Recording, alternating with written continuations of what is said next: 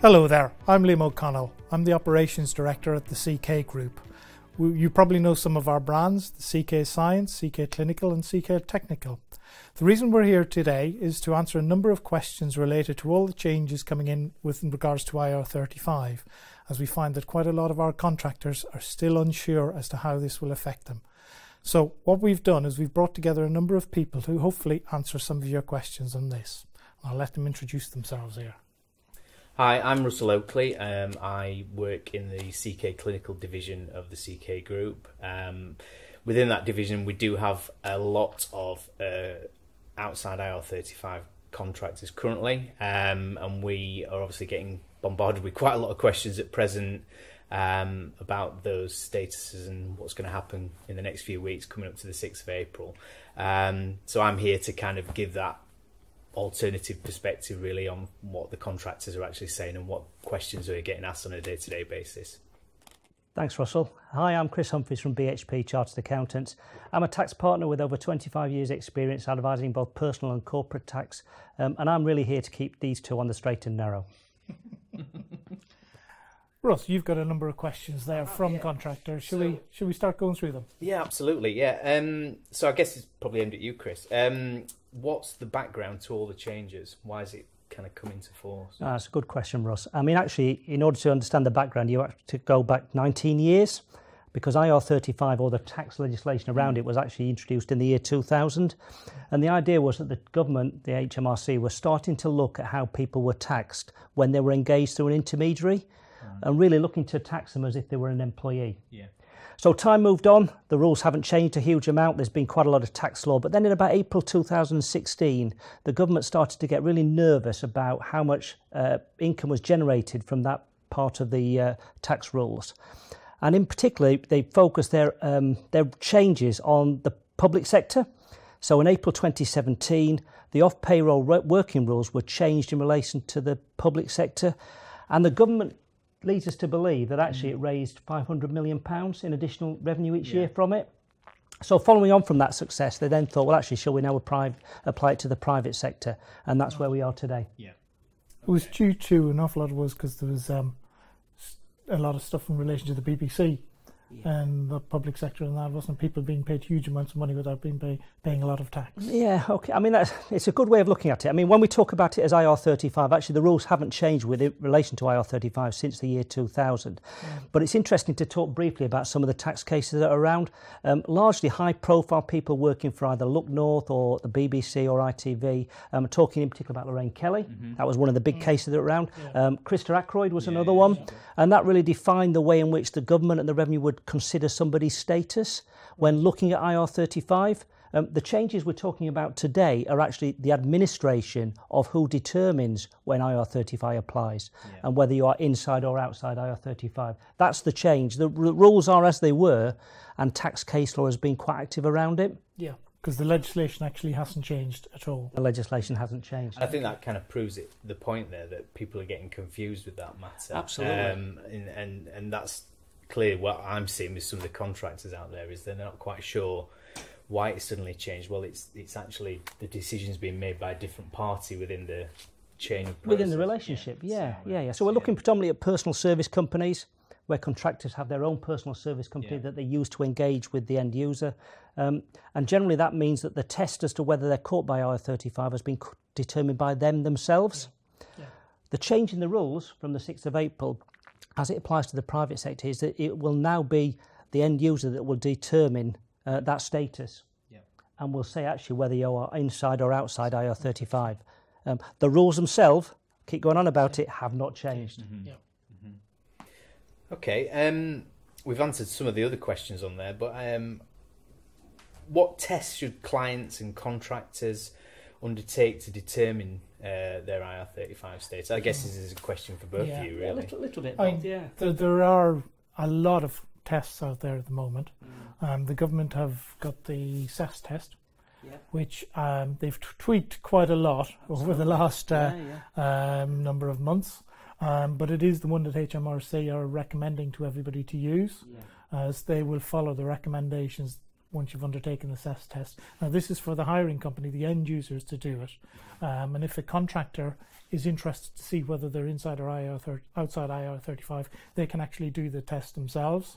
Yeah. Um, and it will give them the answer. And it's it's fairly rigorous as to how they're going to implement that.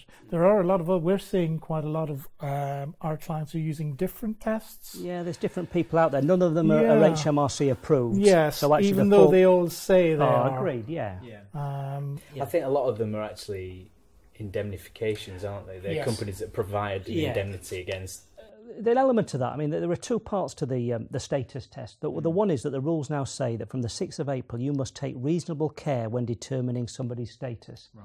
And reasonable care in the revenue land is, is using some of these tools to consider whether somebody is inside or outside IR35.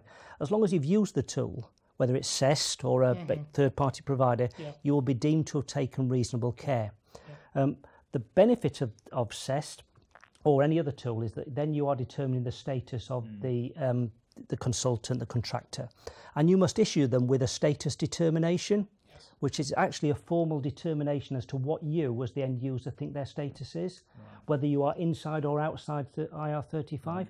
And having issued that determination, the end user should then treat that contractor on the basis of that determination. So if the determination says that you are inside IR35, then all of a sudden you're into pay as you earn, national insurance, employers' national mm. insurance, which is what the government are after. Yep. If you're outside IR35, then your relationship is as it was. Mm-hmm. Yeah. yeah. Okay. What I'm seeing from a lot of contractors is this: we're at this stage now where this determination is being done. Mm what can they do? Can they challenge it? Well, it, yeah, I mean, you can challenge yeah. it. There is yeah. a framework that says that you've got 45 days to, to challenge it and then for the end user to respond. Yeah. So there is a framework then that you can say, actually, well, I don't agree with what you said. Mm-hmm. If ultimately the status determination is changed because of that, then mm-hmm. that's fine. You've had the right outcome. If you still can't agree, then actually the recent consultation says that the only way you can challenge it is through your self-assessment return. Yes, it is. Yes. Which is a strange sort of way of doing it because usually the self-assessment return follows year and a half afterwards. Yeah. You know, so it's a strange water. Yes, I mean the the other thing we're seeing um, is an awful lot of clients, particularly the large clients, oh. are doing a blanket uh, determination and saying that every contract role is inside IR thirty five. Yeah. Um, and if you don't want to work on that basis, you don't work for the companies. Um, and this is followed on. The banks started doing that, yeah. and now the major pharma companies, a lot of the major pharma companies are doing that. And obviously, that's a decision then for the contractor as to whether they want to stay working with that company. Yeah. I think that um, that's right. You, I mean, you've got to consider the commercial risk in this. Yeah. Having changed the nature or, or the responsibility for doing the status determination, who is at risk of having it challenged by the revenue? Yeah. yeah. So it's going to be the financial institution or the pharma company. And so because of that, they've taken the stance that actually we're going to reclassify everybody. Yep. Yeah. And, and bring them onto the books and treat them as if they were employees. Uh, yes, what's happening. So we're finding yeah. that as a recruitment organisation, the, the big pharma are saying this is what we've got. You have to advertise every position is inside IR 35 yeah. from now. And so that means that they're saying any people who are working outside IR 35 come 6th of the April April have to switch to contracts to either be on a PAYE basis yeah. or they have to. Uh, and, and the impact of that is a mathematical one. Yep. Because having, if you're paid the same rate as you were as, a, as a, an outside IR35 contractor, then you're about 10 to 11, 12% worse off as a and result of it. In certain cases, in certain cases. More, yeah, possibly, uh, yeah, yeah. You have to do the maths on it, yep. I think, yeah. Um, so, yeah, that's a a difficult situation for people to, to adjust to. Yeah, and I suppose that's part of the role of this presentation today because what we've found is that where people have been wholly reclassified, they've tried to raise the point with the contractors mm. and say, actually, you know, can we talk about IR 35 and our yeah. relationship? And actually, the, the engagers are saying, well, we don't really know about it, we don't really yeah. want to get involved in it, it's our commercial risk, let's reclassify everybody. Yeah. yeah. So, with the people who are um, where it's been a blanket change to being inside IR 35. Yeah. If as a contractor you want to challenge the role, you have to wait till you're uh, you're doing your you're, you're determined. Yeah yeah, yeah, yeah, It's interesting to talk a bit more about CEST. I mean, it's the mm. check employment status tool. Yeah. Um, it was written by the revenue as a means for you to go in and check your status, yeah. either yourself personally or, or the people that you contract with. Um, you can't break it. Yeah. It's a software package. You can play around with it, give different answers. It will give you a view as to whether you are inside or outside IR35. Unfortunately, the software isn't as dynamic as it should be. Yeah. And I think at one point actually it didn't even deal with whether you were inside or outside the public or private sector. No, it didn't. It didn't. yeah, And then uh, various occasions it has changed overnight. yeah, Uh, the, the questions. Um, I can guarantee that it won't break it. I have tried, yeah. I and, mean, I, it's- and I, I've not been yeah, able to. Liam is yeah, but and it, you know, I'm, I'll but be, I'm good your at first breaking port of these. call, I yeah, think. absolutely. Yeah, Yeah. because uh, because Russell's right. The the end using third party providers isn't any stronger than using CEST, Yeah. but you might well get the indemnification. Yeah. I think what we're seeing is there's a lot of companies out there that are, are uh, maybe in partnership with in-house MSPs and things like that that Yeah. are agreeing to indemnify both the client and the contractor Yeah. if they have a s an assessment tool that matches up, kind Yeah, of thing, yeah. or a, a result from that assessment tool that matches up. Mm. Um, and we've had some pushback, as you can probably Yeah, imagine. Um, some people have just gone with it, um, but it is it's it's a, a very you know I guess trying time for those people. It's a, a, a new- a new concept. New concept. Um, But the tests haven't changed. no, So actually, they should all have been aware of those tests when considering their own status anyway. Yeah. There's an interesting dynamic about the status determination in that you don't just have to give it to the um, the contractor. You have to give it to everybody in the chain, Yes. so that you're all aware of your responsibilities. Right. So actually, having it given it to um, an umbrella company or an agency, it's also their responsibility to then pass that down the chain as well, Absolutely. Yeah. and keep passing it down so that the end user knows what their status is, whether they're inside or outside IR35. If that's done correctly, Yeah. then the liability, if it's challenged Mm-hmm. and reasonable care has been taken, will flow all the way to the contractor. Yep. If, however, there is a flaw in the way that it's been done or somebody hasn't taken reasonable care, then the liability can stick with somebody else in the chain. Yeah. So, from a recruitment point of view, once we get the information through from the hiring company, or the end user, Yeah. we'll be passing that information straight down to the next Yeah, person. in agreed. And that's good practice. Yeah. Yeah, absolutely right. Yeah. Um, Okay, one of the questions that I've been hearing quite a lot of is how is a person reclassified as a as a contractor? You know, what what makes their particular contract something that's suddenly now been deemed inside IR thirty five? Well, I, I think to answer that, you've got to look at the case law that's been established Yeah. over the last 19 years and back Yeah. to some of the high profile cases I've talked about. Um, it, it goes to whether the contract is one of a contract of service or a contract for service. Yeah. So if you're an employee and the nature of your relationship is such that you, you work like an employee, it means that you can't control how you work. You're told where to work and how to work, what time to turn up, how many hours, who to report to. Yeah. You fit into the appraisal system, mm, all those sort of things. Um, people require you to turn up and do your job. And there's something called, um, which is quite an important test, called mutuality of obligation, yeah. Which is an obligation on the a lot of yeah, people. That yeah, one, and, yeah. and it, it's it's quite a strong test. The fact that there's a contract in place between two people, two parties, doesn't mean there's mutuality of obligation. It's, it's stronger. It's, it's it's if I turn up, um, I can rec- make sure request that you give me work, and also there's an obligation the other way for you to give me work. Yeah. So that's where the mutuality Yeah. goes. In terms of a, a self-employed uh, an, a contract, an outside IR35 contract, um, the mutuality of obligation can be there because there's a contract, but actually there's no uh, responsibility on the end user to give you work all the time. No. They might engage you for one project, Yeah. and there's no obligation on you to take it if it's given. No. So there's a real risk reward on who's doing the work. Yeah. And that ultimately is the is the sort of real test of Yeah, self-employed litmus stuff. test in a Yeah, sense, you know, yeah. is there a, financial risk in what you're doing? If, Yeah. if you don't turn up, you don't get paid. If you're sick, um, which is quite topical at the Yeah, moment, you, yeah. you, you don't get paid. Um, there's no holiday pay. Anything else around that? Um, and all of those tests have come um, through the case law that we talked about. Mm-hmm. But even then, what the case law shows is it's on the terms of the specific case and the relationship in the round. So the Lorraine Kelly case was actually that um, she was the new brand, Right. the new sort of she had control over how her program um, worked and who was interviewed on it and how what the content was. But they were actually paying her for the brand of Lorraine on that program. That's what they wanted. Right. Whereas Christa Ackroyd was was was in a similar vein. She was engaged to try and increase the ratings for Look North, I think it was yeah, at the yeah, time. Yeah. And um, but she was told who to have on and who to interview.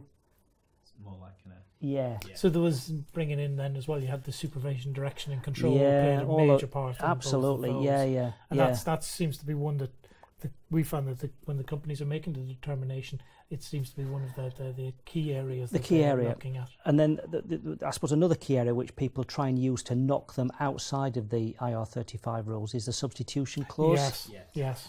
Uh, and uh, I mean that's a difficult one because if you've got a contract with um, an end user and it says that if I'm not available, then you know I can send a substitute. Mm. You know you've got to agree who that substitute is, but I yeah. can send one.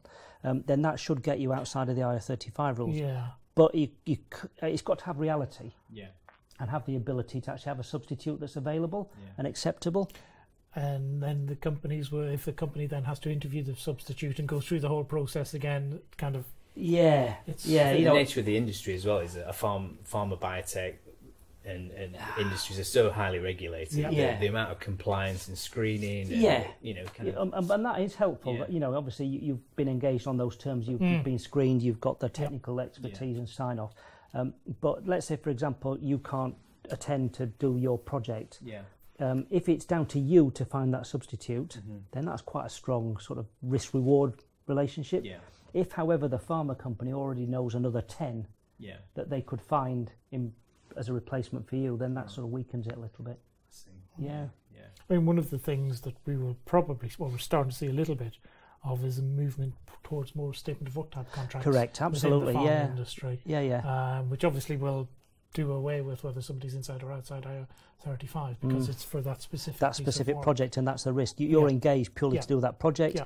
It's under your control how and when you do it. Yes. Uh, success will be whether you do the project or not, and actually you're reporting in a different way. Yeah. Yeah, so I mean, it, it, it is interesting because certain areas of the farm industry it does fit naturally yeah, into that. Yeah. Um, and we as a as a recruiter are starting to see more companies asking us, have you got a statement of work contract so we can give yeah. you the work? I mean, way. bizarrely, it contrasts very directly with my industry where we have people who have to fill in timesheets mm. yeah. and account for their yeah. quarter of an hour, of, every quarter of an hour of time, yeah. and they've got to be there from 9 to 5.30. So those sort of tests um, are much more directly controlled. Yes. So I think the statement of work actually will be a good good outcome. Yes. Yeah. So those are the sort of tests you apply. Yeah. Um, one of the questions that I'm asked quite often is if I am reclassified, does that mean that the revenue will come and look at every other year when I was outside IR35? Yeah, good question. That is one thing that. and, and it, I, I mean, sometimes people are quite cynical about HMRC, but there was a statement from the Treasury yes. that said that they wouldn't look to look to wouldn't look at earlier years of somebody that had been reclassified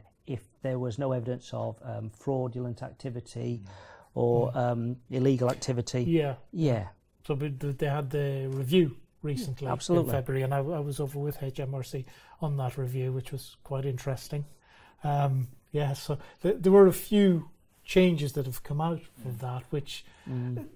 They're not huge, but to make it slightly easier. It's meant to be Im- easier. easier. to implement and easier yeah. to control, yeah. and probably a bit of a lighter touch in terms of people who are reclassified yes. or not. Yes, I mean one of the things they said is that um, if if people make a genuine mistake over the next year, yeah if so long as it's genuine and it's not fraudulent, people won't be punished for yeah. it, whether a hiring company or the individual. Yeah, and that is a sensible approach, I think. Absolutely, it's going to give time to bed it in. Yeah. Um, the, one of the other interesting uh, things they've come out with is if you are uh, hiring somebody and your legal entity is based abroad and you do not have entities within the UK, mm. the rules don't apply. No, great. So yeah. um, if you're uh, uh working through your P, PCS, PSC, sorry, here in the UK for somebody abroad, yeah. it doesn't apply to you. Yeah, yeah. But um, you would need to consider what the rules were in the offshore jurisdiction. Absolutely. Whether, yeah, agreed. Yeah. Absolutely. But it, it, it's interesting. And they, have also said that um, it's only going to kick in for work or for work that's undertaken after, the, the 6th, 6th of, April. April. Yeah. Not work that's been undertaken before the 6th of April. So yeah. you might send in your invoices that are for all of March and you might send them in at the end of April. Yeah. That's fine. Yeah, that's fine. Yeah. Um, but it's for work that you actually undertake after the 6th of April. Yeah. We, yeah. we made representation to HMRC about that ourselves and a number of other recruitment companies because it seems slightly unfair. Yeah, yeah. Um, for the Yeah, we, I mean, we, we made quite a few representations uh, when the rules were originally introduced back in July. Mm. Um, there was a consultation process, yes, lasted quite a long time. Well, yeah. yeah, yeah. and uh, there was a quite a lot of momentum within the recruitment industry and, and also in the contractor industry. Which actually, can we you know, defer this? Yeah, it seems quite a draconian bit of legislation. Yeah, and so one of the things we were looking for in the budget was whether that deferral would take place. Yes, and actually, all that happened was they confirmed it was going to happen. Yes, they said it was definitely going to happen because yeah. we should make quite a bit of money out of it. Yeah. Um, however, uh, it is what it is. Yeah, doesn't apply to small and medium-sized enterprises. So there is a, sca- a Yeah, size test. That was going to be my next question. Actually, are there any exemptions? I guess. Yeah, to- so it's, yeah. it's largely linked to the um, the audit threshold. Yes, Yeah, so if Yeah. you look at the audit thresholds, um, 10.2 million, isn't correct? Yeah, it? it's- Uh, turnover, uh, 50 Yeah. employees, and 5.1 million on the balance, Balance sheet, Just correct. Two of those. two of those. Two of those. Yeah, absolutely. Yeah, Um, but then you've got the difficulty is like um, with a company. So you let's say you're a small company, and I'll say to you, are, are are you inside? uh, Is the Mm. role going to be inside outside? How do you make the determination then of what size company you are? agreed. What accounts do you base? Yeah, yeah. Which When- ones? Yeah, yeah. Also, you've got. I mean, we we've had it recently. Actually, you know, if you're a smaller entity in the UK, Mm. does it, it, it- Are we classing the whole global network of this com- company, or is it just the UK part of it, where we're looking at the 10 million and the, On- on the and limits? Yeah, on the limits. Yeah. So the limits for audit purposes would apply to the standalone company.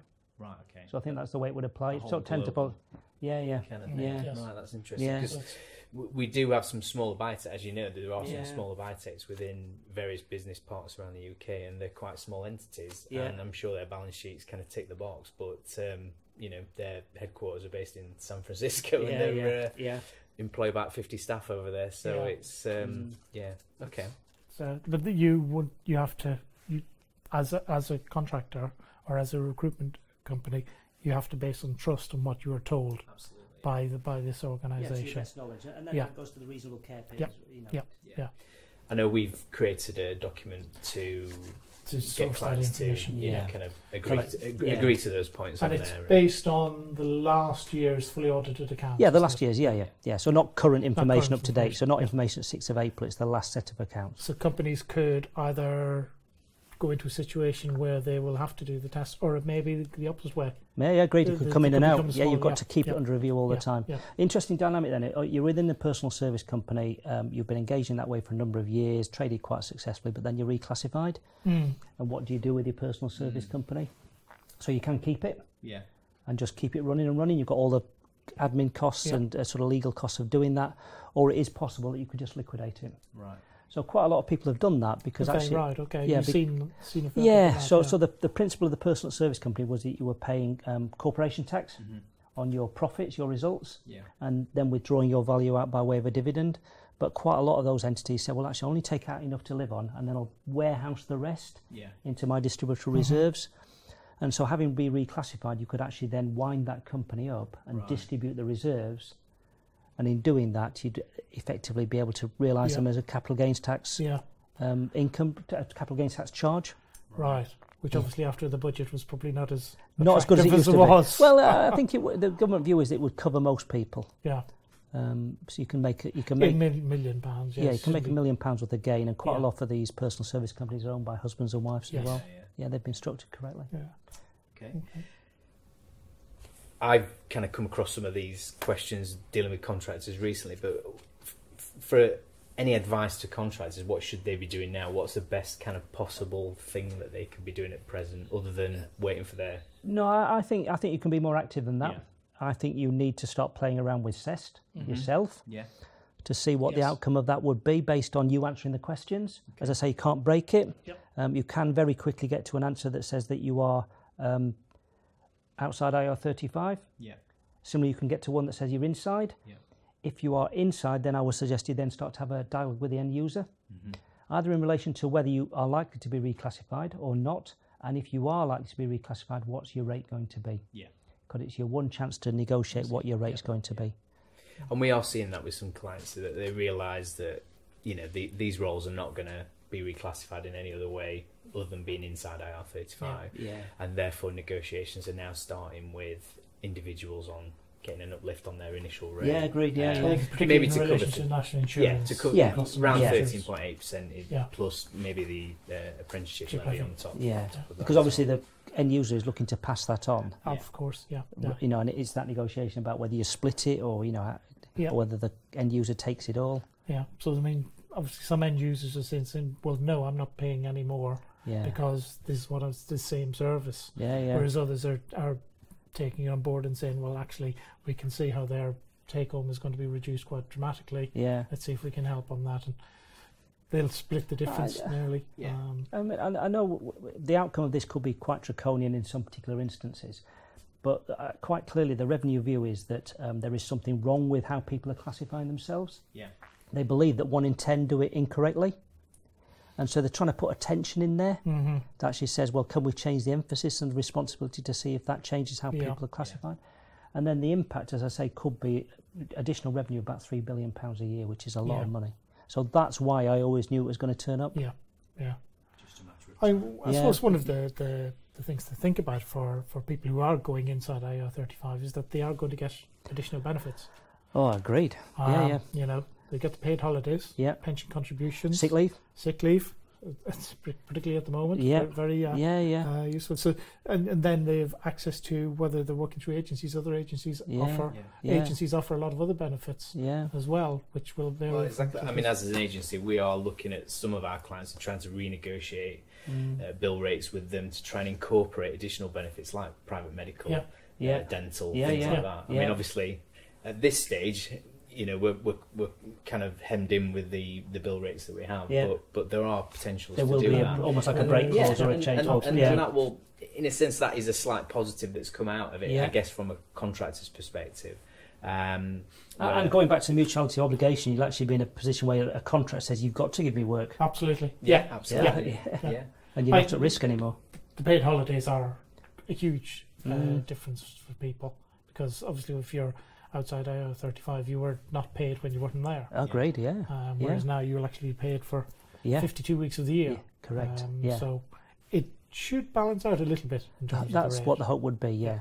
I suppose there's also the AWR uh, kind of regulations that kind of come in as well to these contractors, which means they're now eligible to get some of the same rights as, as permanent staff on Mm, site as yes. well. So things like parking spaces or, you know, access to creches and things like that. There are clients yeah. out there that, that don't see limited company or personal service company within that threshold. So therefore, they have to park off site and Yeah. various other Yeah, things. yeah. So there's additional things as well that I guess, um, you know, kind of put a bit of extra icing on top of the cake in a sense. Yeah. So I think in a roundabout way, we're saying it might be no bad thing, but you just need to work through it. yeah it, it'll take a little bit of getting used to I think so. yeah, Yeah. because it'll be a Just changes complete different way of, of, of earning your remuneration I think that's right. um, but and you will take a bit of a hit but hopefully over a period of time it'll balance out And that hit hopefully will be compensated by other rights that you've never had before, which Yeah. will give you some sort of financial Yeah. security, which Yeah. might be no bad thing. I think it's just a learning curve up for clients, for agencies, for contractors alike. There's there's a large contingent workforce within the yeah, UK. yeah, yeah. Pharma companies, for one, will definitely still need that Yes. level of service, and things will change. Either pay rates will go up, additional benefits, some something will happen to help. Yeah. Kind of They've got to make it along. work. Yeah, exactly. Yeah. And you know, all the contract staff that are currently working can't be converted to permanent. no Um, so the jobs aren't going to disappear but overnight jobs no, aren't so- going to disappear. But it's just either. making sure you meet those status tests. yes And that's the That's- the hard graft you could do now, I Absolutely, think. yeah, yeah. yeah because this is only three weeks away now Only three weeks away, but it's coming. yeah, Yeah. yeah.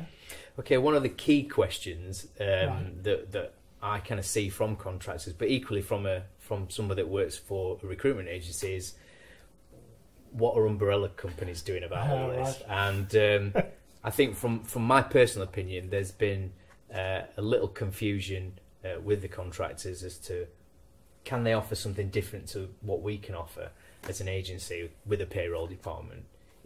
Can they offer anything different? Is it? I mean, am I wrong here? I I assume they can only offer what we can. I offer. think, yeah, I mean, I, th- I think they're another forum for allowing people to deal with the responsibilities Yeah. of being inside IR 35. Yeah. Whether they are as well geared up to do it as you are, Mhm. I'm not sure. Yeah. Um, umbrella companies, unfortunately, have come become quite tainted in relation that Mm. they've been structures to try and avoid actually paying the right amount of income tax. yes I've seen all sort of press coverage about come and join our umbrella company, you only pay 2% tax. And I'm just wondering, well, how does that work? It's not real world. So, Yeah. so I actually think credibility within agencies is, Yeah. is much And I stronger. think that's where the cr- Yeah. confusion is coming from because the contractors, you can't blame them. They're, they're, Ah, they're, they're seeing all these kind of ways of working. And, and fair enough, if you're an agency that doesn't have a payroll department, you need to partner with an umbrella Mm. company Yeah.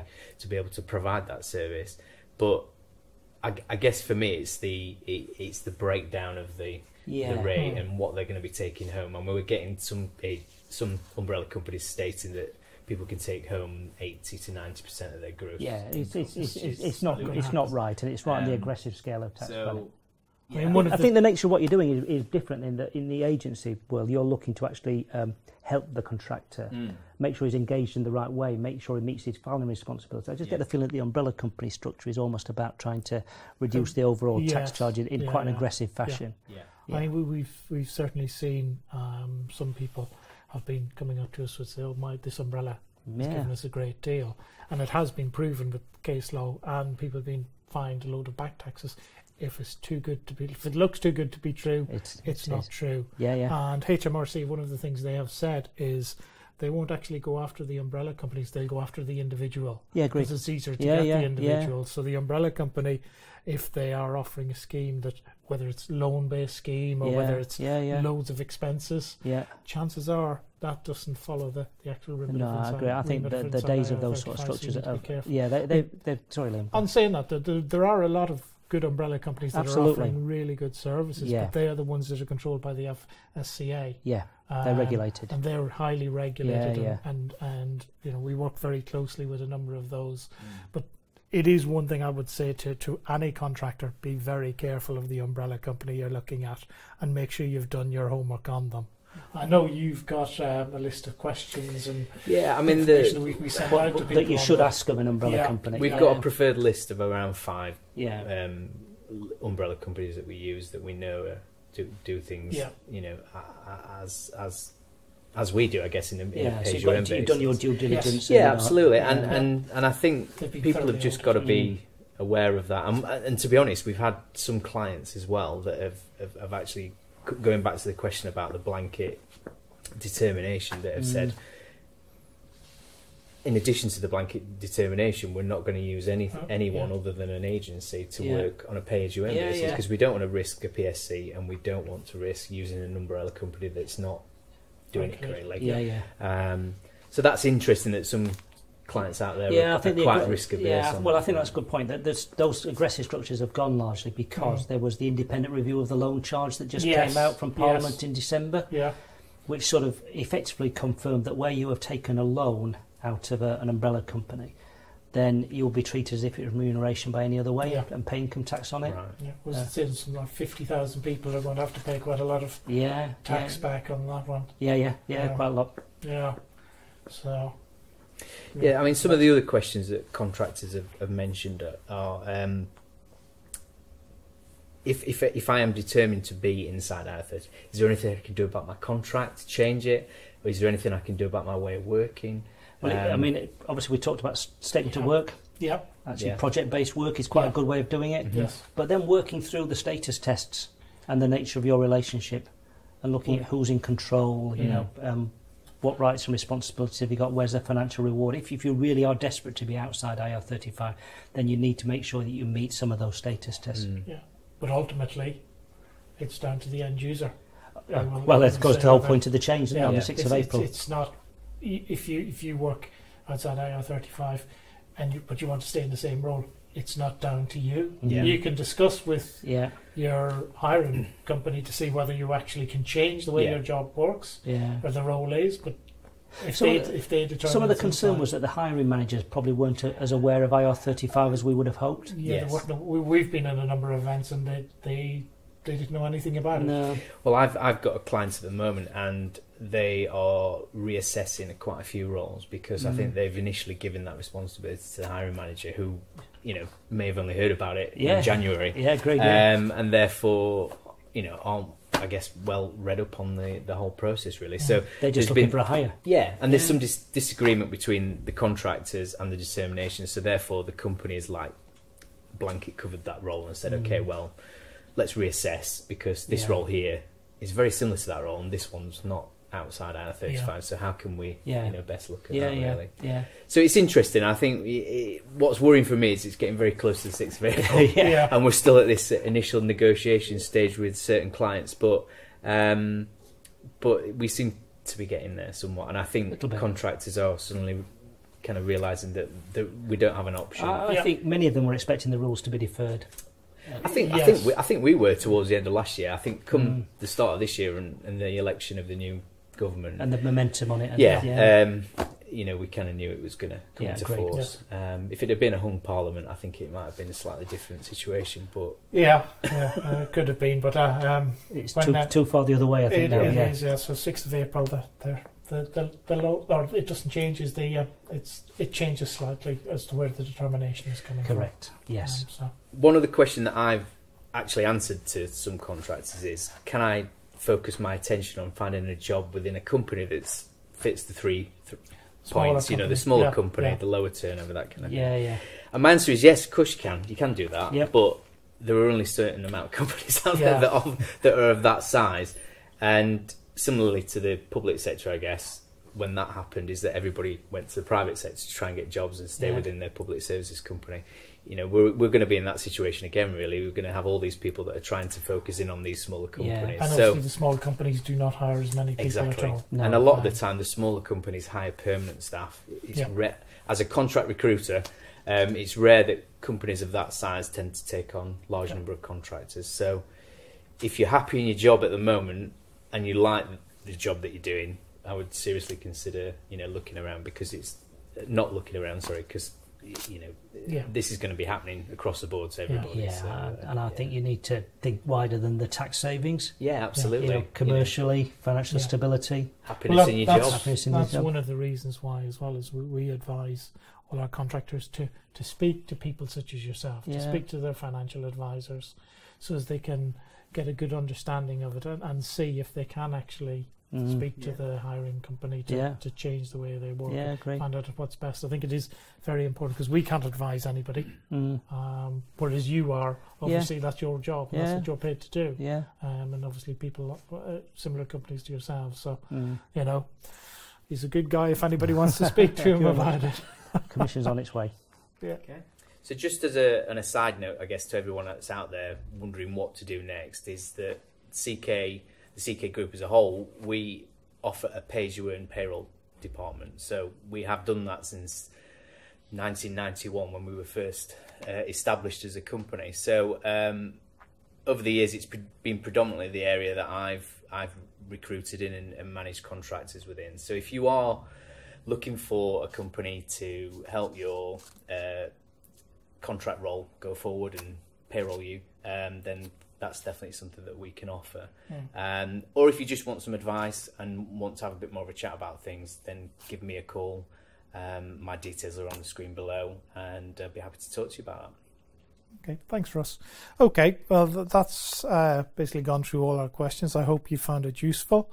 Um, as Russ said, if you want to get in touch with ourselves for any further information, we're more than happy to help. Uh, whether you're a contractor who works for us or you're working through your own personal services company and you want to know more information, um, you'll have all our details for Russ, Chris, and myself. And do not hesitate to give us a call if we can help you at all.